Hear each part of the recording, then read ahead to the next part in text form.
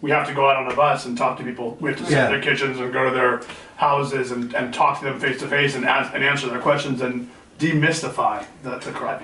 What country is producing the most hemp and getting the most out of the, the crop itself in terms of China. all the, China? So China has seven different plants that do the different for textiles, right? For fiber and textiles. For seed and CBD, you can have one plant. Speaking about the profit from seed, just the seed production from the Yeah. crop is like six to eight times what farmers are getting from corn right now, from a mm-hmm. profit standpoint. Per so we don't have the infrastructure to process the stalk, Yeah. the fiber, the hurd, and the hempcrete yet. That infrastructure's in every other G7 country except for ours, right? So that How are you going to convince that hemp should be the thing that's focused on s- instead of what the DuPonts and the, you know, the ensconced established big business and big money And the plastics are doing, industry. and the plastics industry, all Like, that? where, where is it indigenous to? Like, where where did it first start growing?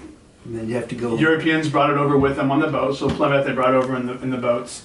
Um, it was here, Indian hemp, American Indian hemp. So this was a global campaign to eradicate hemp as a product.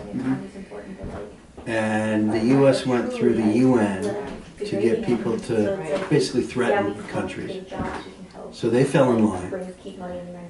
The UN is reassessing that April 19th and 20th of this year. They're reassessing their entire gun policy because people are realizing it's it's, it's insane. It's idiotic.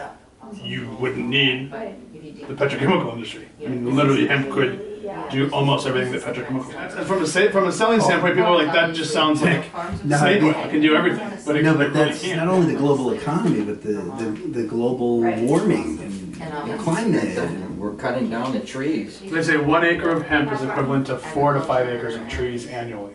Building materials, paper, pulp. You build a hemp house and it's gonna take CO2 out of the air because it'll suck that out. In Canada, they don't need the wood burning stove to keep the house warm. There's something like five tons of, of concrete per To make person dry in the world. cement. It's horribly, horribly toxic.